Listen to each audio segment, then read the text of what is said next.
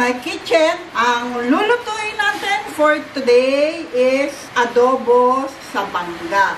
Ang gagamitin natin ngayon is yung chicken and yempo. Ang mga ingredients for the adobo sa mangga is yempo, manok, madaming madaming bak, madaming madaming bawang, mango, kalabaw, yung maasim, toyo, paminta, at mantika.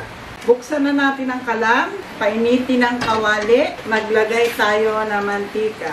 Medyo damihan natin ng konti. Yung bawang dito, dalawang ulo ang binastapo para mas masarap. Bawang lang, walang sibuyas. Tapos, ano natin dyan ang baboy. I-prito-prito natin yan.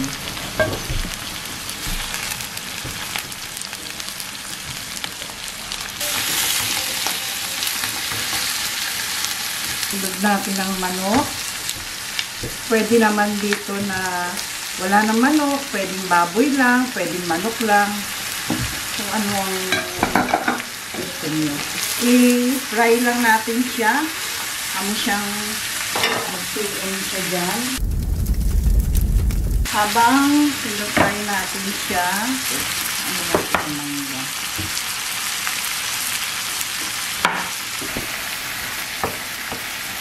Iwain natin ng ganito. Ay. Ayan. Cube-cube na maliliit para maasim. Piliin yung mangga, yung ano ah, yung kalabaw. Yung may asim na mangga. Kasi pagka Indian mango ay wala, hindi maasim ang adobo natin. Kailangan mangga na maasim. Malapit na panahon ng mangga ngayon. Kaya madaming mangga ngayon. Pagka hindi sa panahon ng mangga ay mahal. Ngayon, ma ano na ang mangga panahon na. Yan.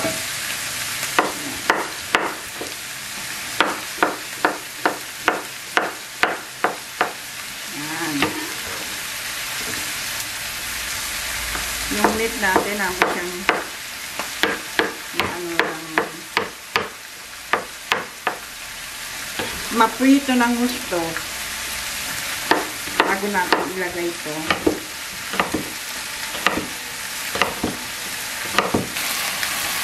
Ayan, nagba-brown-brown na siya.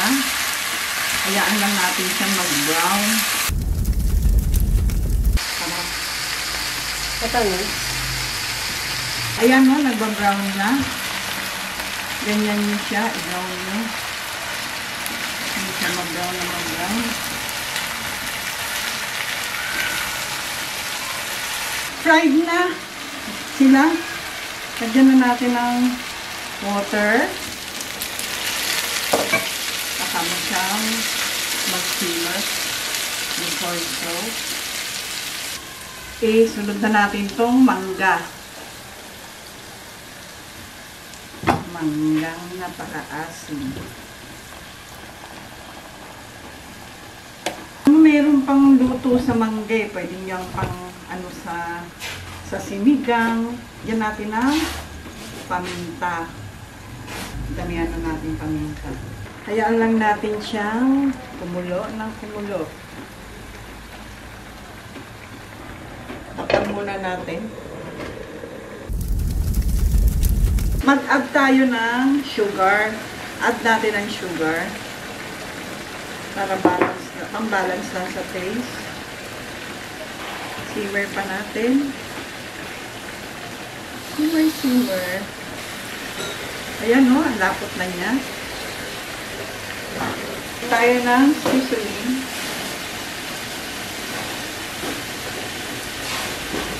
Nag-add tayo ng seasoning. Haluin pa natin. Tumatagaktak na ang pawis ko. Ayan, ganyan ang gusto natin maging texture niyan.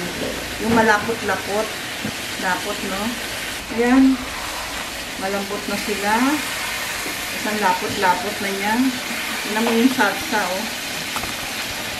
Ayan. Patayin na natin siya.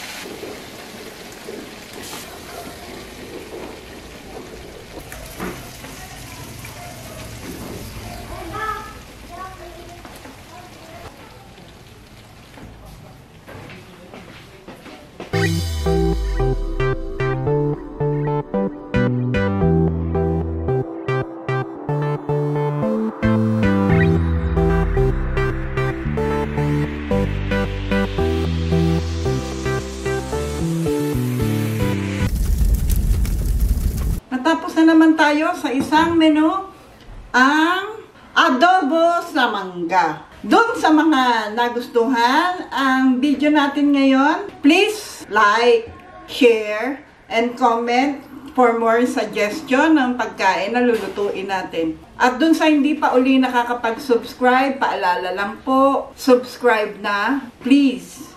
Okay, bye. Thank you.